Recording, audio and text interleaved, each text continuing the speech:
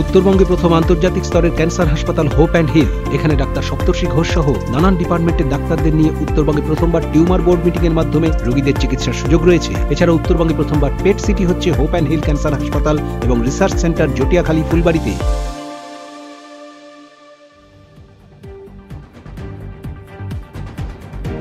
একটানা বৃষ্টিতে MJN medical college ও হাসপাতালে হাইব্রিড সিসিইউর ছাদ চুইয়ে জল পড়ছে। এতে ভেঙে পড়েছে সেখানকার ফল সিলিং।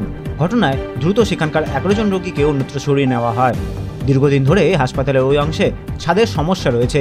এই বিষয়ে এমএসবিপি ডক্টর রাজীব প্রসাদ জানিয়েছেন, এটি হেরিটেজ বিল্ডিং তাই সংস্কারের জন্য বিভিন্ন নিয়ম মানতে হয়। ইতিমধ্যে ওই কাজের প্ল্যান এস্টিমেট এমনকি ওয়ার্ক অর্ডার হয়ে গিয়েছে। বর্ষার জন্যই কাজে দেরি হচ্ছে। সিসিইউ সংক্রমণ মুক্ত রাখা হয়। যেহেতু বাইরের জল সেখানে ঢুকে যাচ্ছিল, তাই রোগীদের সরিয়ে নেওয়া হয়েছে। কোচবিহার থেকে শিবশঙ্কর সূত্রধারের রিপোর্ট, উত্তরবঙ্গ সংবাদ।